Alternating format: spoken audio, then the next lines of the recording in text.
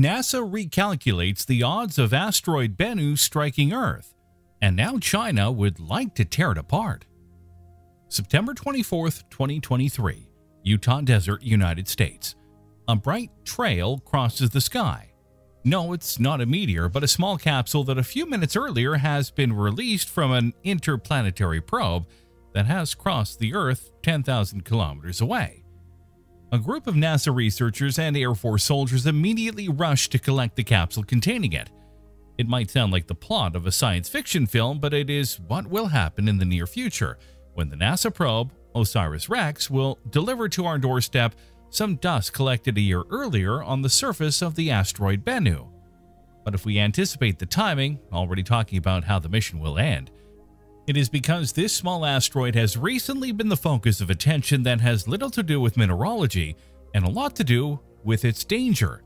On August 11th, NASA has even called a press conference to announce important news, and even China has surprised a bit, all with some of its belligerent statements. Keep watching and let's go and find out why this is all happening. Maybe taking a few steps back first.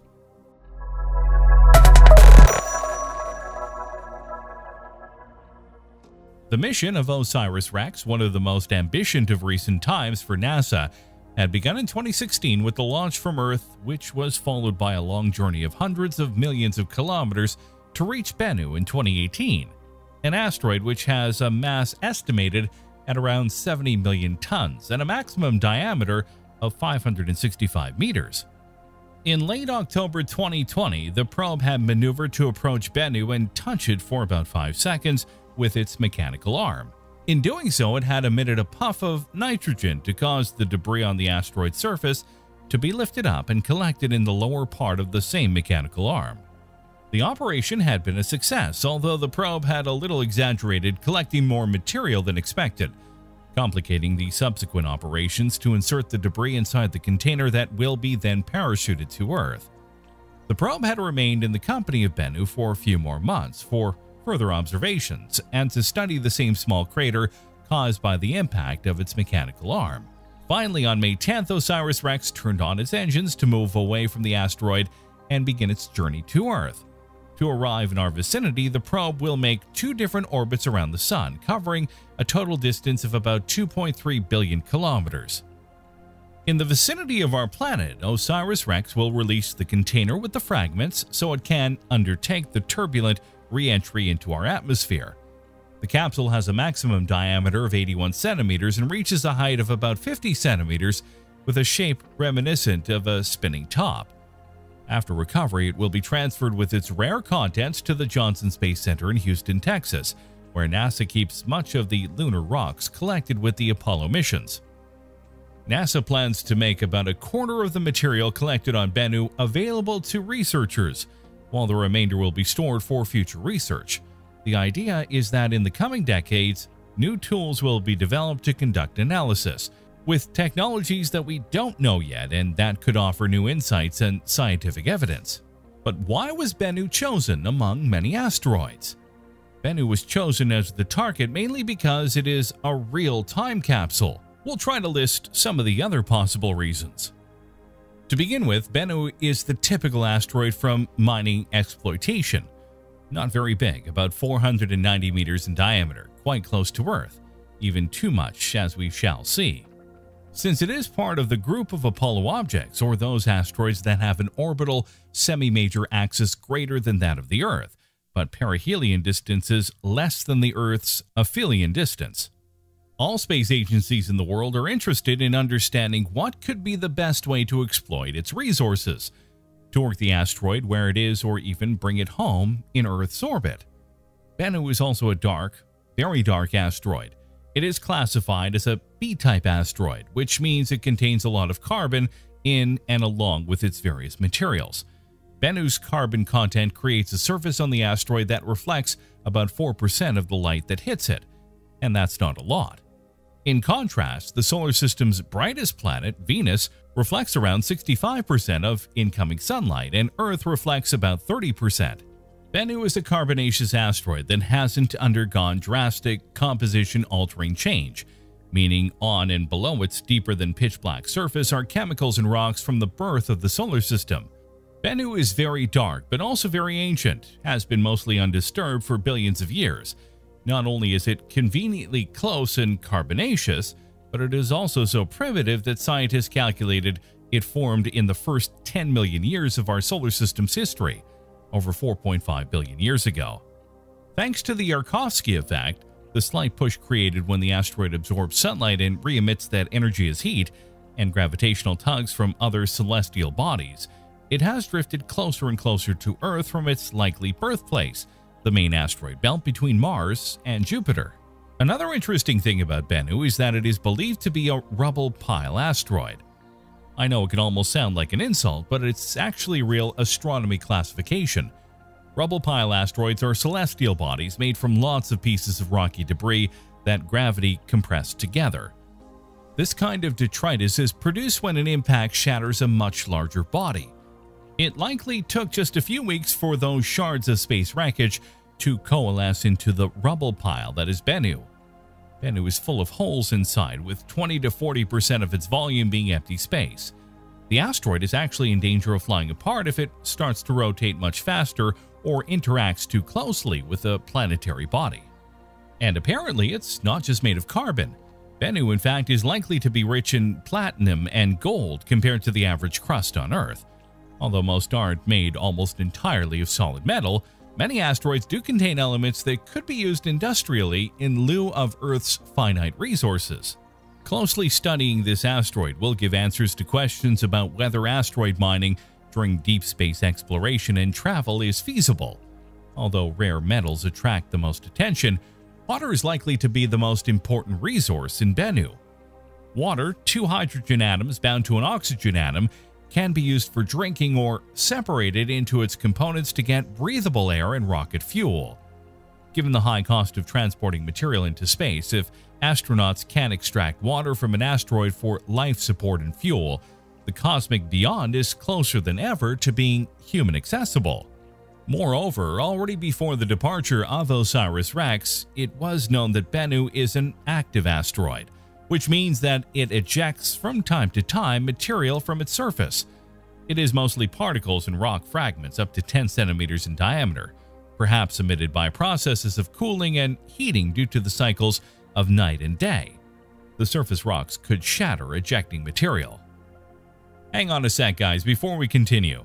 Be sure to join the Insane Curiosity channel. Click on the bell, you will help us to make products of even higher quality. The mission to Bennu was also an excellent opportunity to study closely the slow but dangerous orbital changes that these bodies can put in place. Gravity isn't the only factor involved with Bennu's destiny. The side of Bennu facing the sun gets warmed by sunlight, but a day on Bennu lasts just 4 hours and 17.8 minutes so the part of the surface that faces the sun shifts constantly. As Bennu continues to rotate, it expels this heat, which gives the asteroid a tiny push towards the sun, changing its orbit. It is the so-called Yarkovsky effect, of which surely you have already heard. A force no stronger than that exerted by the weight of three grapes, and yet able to send Bennu drifting about 300 meters per year. Until two years ago, scientists had calculated that during its periodic approaches, Bennu would have a 1 in 2700 chance of impacting the Earth within the next century. The OSIRIS-REx mission, as we are about to see, with the data collected has even worsened this estimate, supporting the thesis that Bennu is one of the most dangerous asteroids in circulation among those that periodically cross the orbit of our planet. These days, OSIRIS-REx is on the way back, engaged in a phase of the mission that should not have brought big news. So that has created a certain sensation. On August 9th, the sudden invitation from NASA to follow a briefing that would be held two days later, and in which would be given news of some importance on the ongoing mission. What was going on? Was the spacecraft off course? Had we lost contact? Had the data collected revealed that something exceptional was happening on Bennu? No, none of that. As usual, NASA had exaggerated the tone of the announcement and everything was resolved with the disclosure of important news, but certainly not epical. Apparently using the data collected by OSIRIS-REx, a team of scientists had managed to make an absolutely precise calculation of the orbit of Bennu, being able to determine the position of the asteroid at any time with the accuracy of 2 meters, which is equivalent to measuring the distance between the Empire State Building and the Eiffel Tower with the error of a few thousandths of a centimeter. The researchers then analyzed the risk of impact with Earth between now and the year 2300, finding a 1 in 1,750 chance of a future collision over the next three centuries, a slightly higher probability than previously estimated. Nearly all of the riskiest encounters with Bennu will occur between late 2100 and early 2200, with the single most likely impact occurring on the afternoon of September 24, 2182. On that Tuesday, Bennu will have a 1 in 2700 chance of hitting Earth. Despite the slightly higher chance of impact, Bennu's risks shouldn't keep anyone up at night. There's more than a 99.9% chance that Bennu won't hit the Earth in the next three centuries, and a Bennu impact wouldn't cause a mass extinction like the Chicxulub impact that killed off the dinosaurs 66 million years ago. And if indeed our great-grandchildren find themselves cornered by a greater danger, they will have plenty of time and technology at their disposal to neutralize the threat. In what way is not yet known, the debate is open, even if just in these days, scientists at China's National Space Science Center have calculated that if 23 Long March 5 rockets, each weighing about 990 tons, hit the asteroid at the same time, it would be enough to deflect the asteroid from its path by almost 9,000 kilometers, 1.4 times the radius of the Earth. Asteroid impacts pose a serious threat to all life on Earth, said Mingtao Li, a space science engineer at the National Space Science Center in Beijing and lead author of the new study. Deflecting an asteroid on an impact trajectory is critical to mitigating this threat. A kinetic impactor remains the most feasible asteroid deflection method. The study also seeks to demonstrate that orbital deflection of large asteroids similar to Bennu can be accomplished without resorting to a nuclear device, as long as it's planned 10 years in advance of the impact.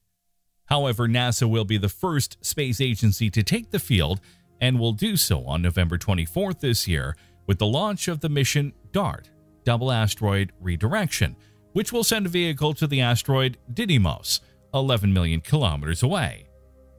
Once there, the spacecraft will strike Didymos' moon, Dimorphos, a rock orbiting the asteroid.